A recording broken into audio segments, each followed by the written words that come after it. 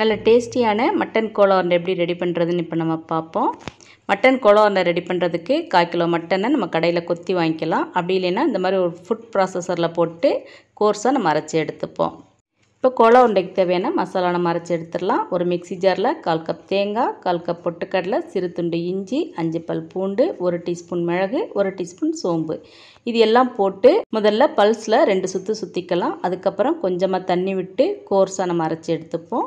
இப்போ ஒரு மிக்சிங் பவுலில் கொத்துக்கறி மசாலா இது கூடவே பொடியாக நறுக்கின வெங்காயம் கொத்தமல்லி பச்சை மிளகாய் கறிவேப்பிலை. இது எல்லாம் போட்டு ஒரு டீஸ்பூன் மிளகாத்தூள் அரை டீஸ்பூன் மல்லி அரை டீஸ்பூன் கரம் மசாலா அரை டீஸ்பூன் மஞ்சள் தூள் தேவையான அளவு உப்பு. இப்போ இது எல்லாம் போட்டு நல்லா மிக்ஸ் பண்ணி நம்மளுக்கு தேவையான அளவு உருண்டையாக நம்ம உருட்டி எடுத்து வச்சுக்கலாம்.